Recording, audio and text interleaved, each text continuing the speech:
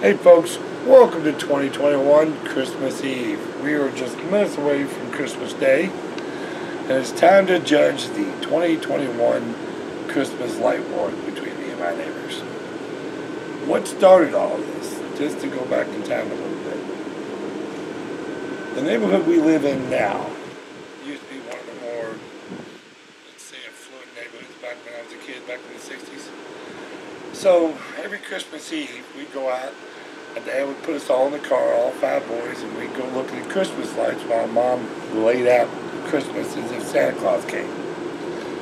So looking at Christmas lights has been family tradition going back, oh, every bit of 55 plus years.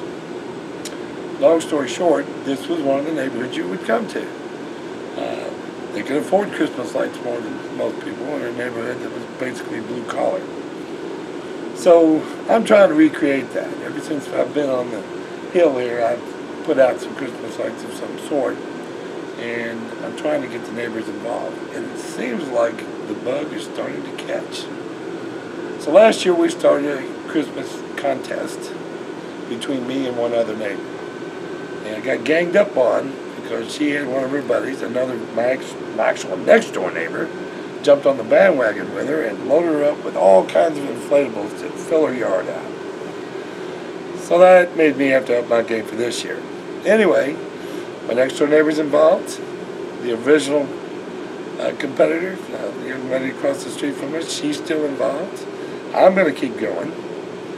And uh, these will be the three to be judging from. So leave your comments down below. Let us know who won and uh, the winner gets a bottle of whiskey. I love bourbon. Thanks for watching. We'll be back in a second. Okay, folks, here we go. This is contestant number one. As you recall from last year, car coming. I'm out for traffic.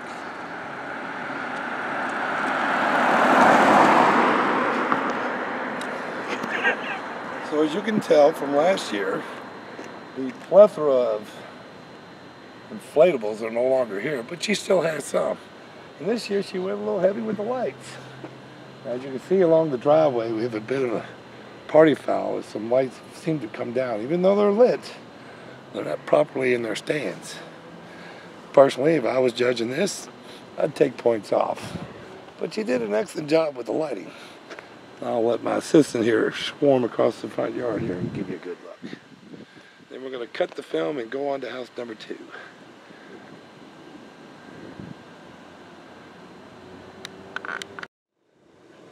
Okay, folks, this is contestant number two. As you can see, the inflatables that you saw on last year's contest that were in the front yard of contestant number one are now back to their home base where they belong. Unfortunately, seems to be lacking a few lights. Do like the way the lights show up against the house. Kind of a lazy man's Christmas decoration, if you will. The sad part about it is, is that my cameraman will come over here, my camera woman, person, will be correct about all this. If you look up over the hill, you will see about a 12 foot Santa Claus that is falling over. Now, I did not sabotage that. It just fell. I don't know why it fell. I'm probably going to fix it after I get done with this video. But again, if I was judging, I'd deduct points. But he's in the mood. Okay, folks, here's the last and best of it all. We're going into my place now. Mandy and I put a little bit of effort into this, although we're kind of lacking theme. But I think even in the lack of theme, we make up for it with abundance. We'll start with that. Entropy. Entropy. Follow me. As we mosey down the street, first thing we see, this is Mandy's idea. Christmas skeletons. You see the two are actually lighting the one in the middle, and everybody seems to be okay with that. Not a bad gig. The second theme, on the other side of the tree, is the first building of what I'm calling my Christmas village. I'm building this village up, and before everything's said and done, Uh, I should have about five, maybe six houses up there, a store, you know, just a typical Christmas village. Uh, these will be for sale, by the way. On to our next thing. Now, every kid that ever saw certain cartoon known as the Minions, you'll notice at the start of the movie, there's a big T-Rex being followed by a horde of minions. Well, we don't have a T-Rex blow up. We do have a Christmas dragon. And he's being followed by his little Christmas minions. And that's not enough. You can't just put a bunch of inflatables up. That's kind of like taking the cheater's way out. So let's walk up the driveway and see what else we have.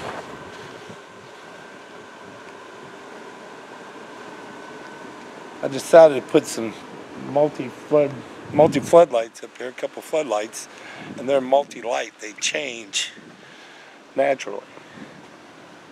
Puts a nice little ambiance on things, I think.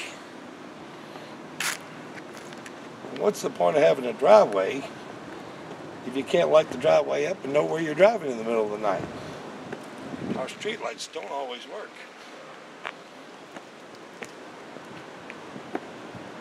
On the outside and the side of the house, I thought it'd be a good idea to highlight in red since all the cast iron that I have lit is in red.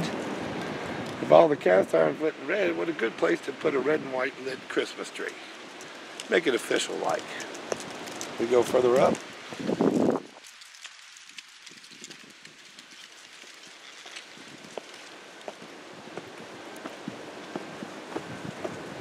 Now I'd be the first to tell you that there's a horde of wires going to and from across that road, that uh, front porch area, as if it's a highway of wires.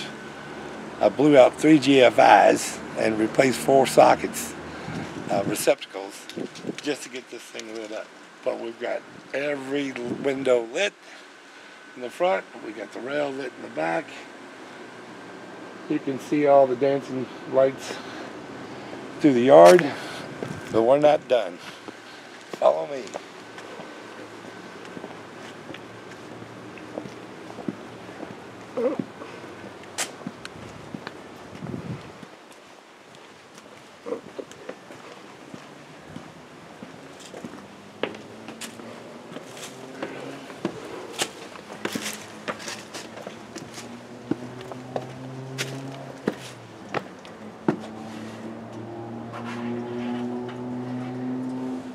Now, it wouldn't be fair to have everybody that drives by the front of the house to see the lights, and our neighbors to the back get none of the reward.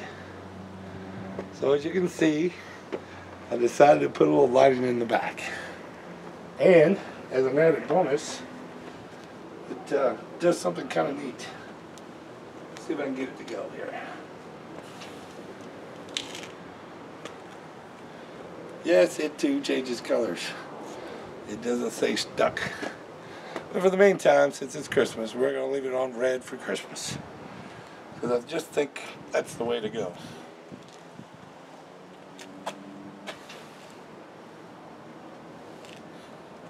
So anyway, that's the light show for 2021. Hope you enjoyed. Leave your comments below. Tell us who won. Thanks for playing. Merry Christmas and a Happy New Year.